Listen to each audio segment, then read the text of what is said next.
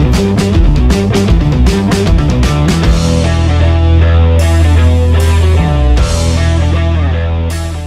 मित्रांनो आपल्या tips in Marathi चॅनलला सबस्क्राईब करा आणि आमची नवनवीन अपडेट माहितीपर व्हिडिओ सर्वात अगोदर पाहण्याकरिता बेल वर क्लिक करा. आज आपण या व्हिडिओमध्ये सर्व बँकेच्या ग्राहकांना अत्यंत महत्वाची माहिती देणार आहोत आरबीआय रिझर्व्ह बँक ऑफ इंडियाने सर्व बँकांच्या एटीएम कार्ड म्हणजेच डेबिट कार्ड आणि क्रेडिट कार्डच्या नियमामध्ये बदल केलेले आहे.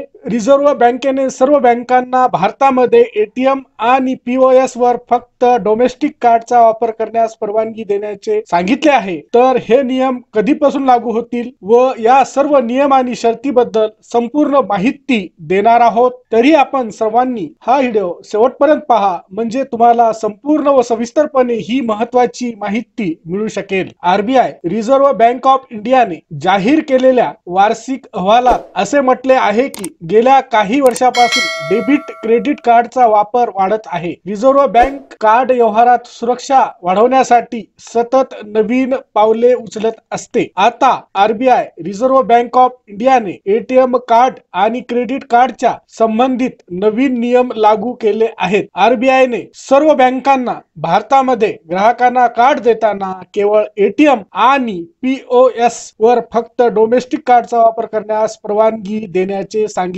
आहे. तसेच आरबीआय रिझर्व्ह बँक ऑफ इंडियाने जारी केलेल्या पत्रकात असे पण म्हटले आहे की आंतरराष्ट्रीय इंटरनॅशनल व्यवहारासाठी स्वतंत्र परवानगी द्यावी लागेल. याशिवाय ऑनलाईन व्यवहार कार्ड नसताना होणारे व्यवहार आणि तसेच कॉन्टॅक्ट लेस व्यवहारासाठी ग्राहकांना आपल्या कार्डवर सेवांना वेगळे सेट करावे लागेल. RBI reserve bank of India कडून हे नवीन नियम जानेवारी दोन हजार वीसमध्ये जाहीर करण्यात आले होते. मात्र कोरोनाच्या संकटकालीन परिस्थितीमुळे या नवीन नियमांची अंमलबजावणी करण्यासाठी तीस सप्टेंबर दोन हजार वीस पर्यंत मुदत देण्यात आली होती. तरी सर्व बँकांच्या ग्राहकांनी हे लक्षात असू द्या की आरबीआयने जारी केलेले एटीएम कार्ड आणि क्रेडिट कार्डशी संबंधित नवीन नियम तीस सप्टेंबर दोन हजार वीसपासून सर्वांना लागू होतील. आता आपण स्टेप बाय स्टेप सविस्तर माहिती घेऊ. नंबर एक सध्याच्या कार्डसाठी ग्राहक आपल्या जोखमीनुसार निर्णय घेऊ शकतात.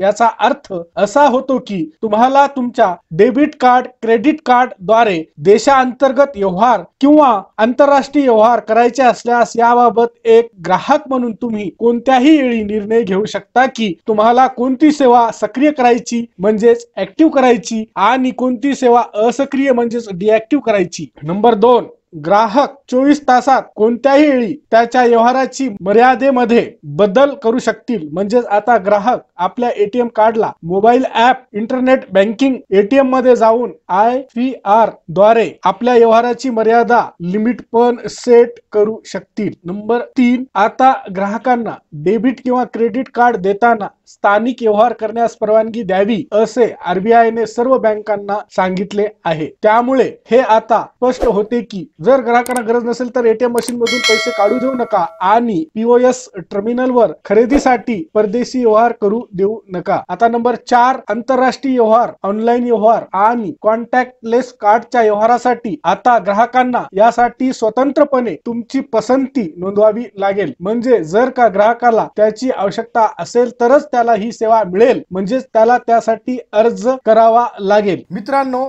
जर का आपल्याला या व्हिडिओमध्ये दिलेली माहिती आवडली असल्यास चॅनलला लाईक व सबस्क्राईब अवश्य करा आणि व्हिडिओला शेअर करण्यास विसरू नका.